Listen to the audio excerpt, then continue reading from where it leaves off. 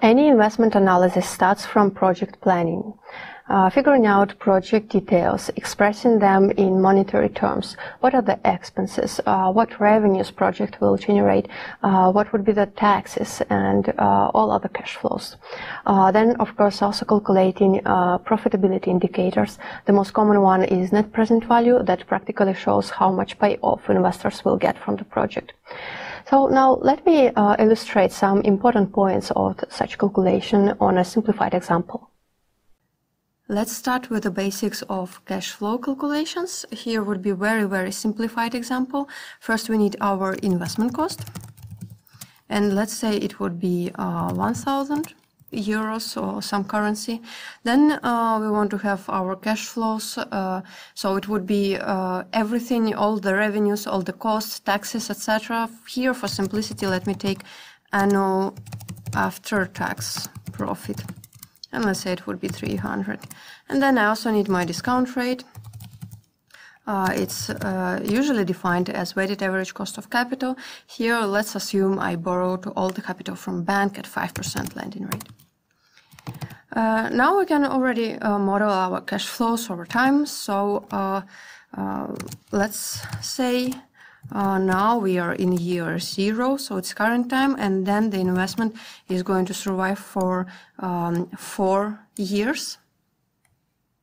And let's see, so in the first year it would be minus our investment cost. And here, let's say it's my uh, calculation area, so I want everything to be automated in here.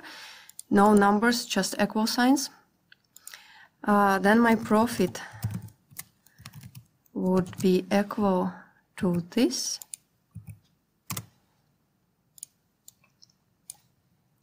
And then I can calculate uh, the cash flows. Let me start first with just cash flows, and it would be sum of everything for every year. Then I can discount them. So it would be that every year cash flow divided by uh, 1 plus interest rate, the discount rate, and in the power of the period. So uh, uh, anything in the power of 0 is that anything, so we don't discount the first year, yes, and then our 300, oh sorry, I need of course to fix the uh, my references, right? No, and this one, no, yes, this.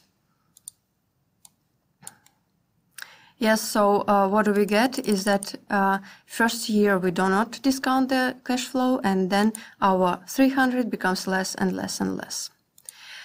Then uh, we can calculate our cumulative discount cash flows. So practically the sum, remember the liquidity, and here F4 to block the first reference. So now when I drag, I have the sum at every point. And uh, here first, uh, I can already see where is my uh, payback period. So uh, after year three of that investment operations, I get my money actually paid back. So they are turning from negative to positive. And then also the last year of cumulative discounted cash flows is practically our net present value. Now, uh, net present value can be uh, also uh, calculated with uh, formula with the existing. Now, net present value can be also calculated with existing function net present value. So we need rate and then just cash flows, non-discounted cash flows. But be careful, it wouldn't work that way. So if I do this one, it would give me different value why? Because it actually starts discounting from the very beginning. So we need to start it from year one and then add to the net present value the investment first year cash flow. And then we will have the same value. Right.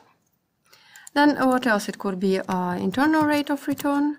So uh, here, by the way, uh, with uh, GoalSeek, it's a, very easy to demonstrate the sense, the meaning of the internal rate of return. So practically, let's open our uh, what if analysis GoalSeek. So uh, when I want to set net present value to zero, by changing my discount rate, so that discount rate that makes my net present value uh, go to zero is exactly the internal rate of return. So here we got uh, 8%. Let's get it back.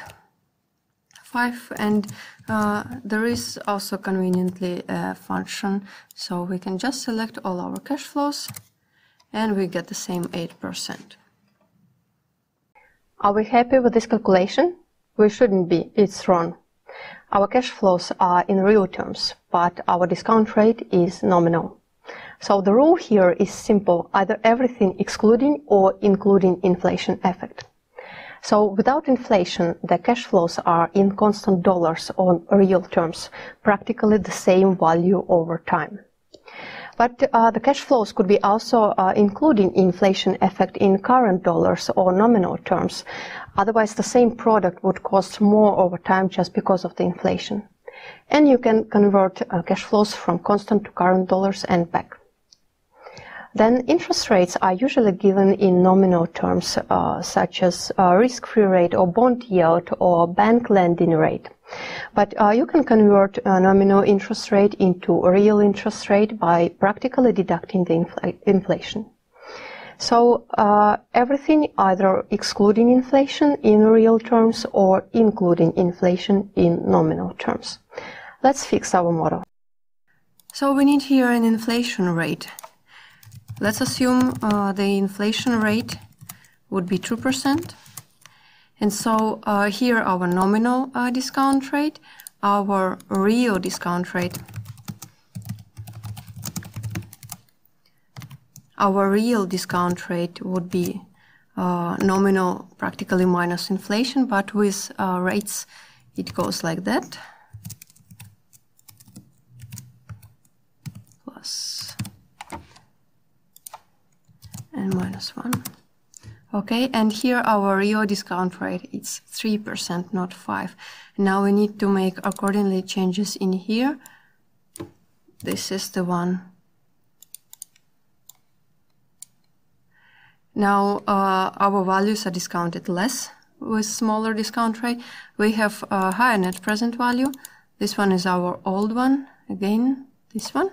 Okay same value and our IRR that didn't change. So practically, uh, of course, it's uh, numerically the same value. We have the same cash flows, but it's important to understand whether it's uh, nominal uh, rate or real rate. So now our uh, all calculation is in real terms, and of course the uh, IRR also shows the real interest rate here. Let's see what happens if we perform all exactly the same calculation, but in nominal terms. So I want to use now the nominal discount rate. Let me even write it. Real terms and nominal terms. Okay, so uh, what would be the difference here? Uh, our cash flows would be different. Since we are now at year zero, at year one, our cash flows will be inflated. What it means? It practically means here our profit, uh, that we need to uh, add inflation effect in here. 1 plus inflation rate. Okay?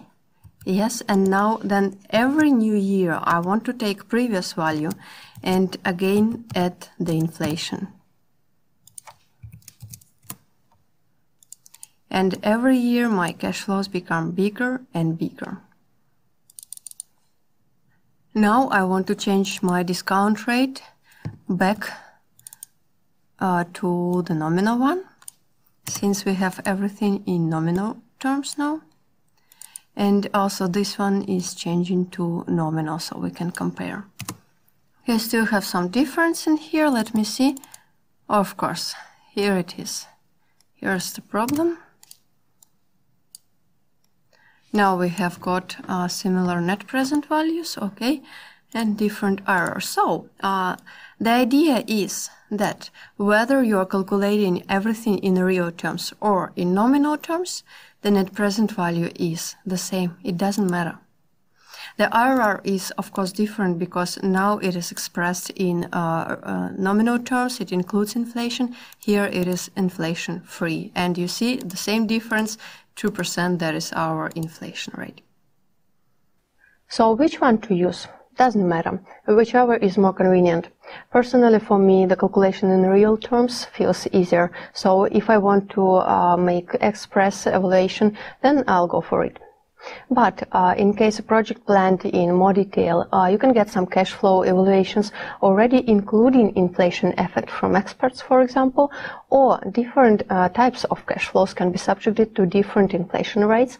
Uh, if that is the case, of course, uh, performing the calculation in nominal terms makes more sense.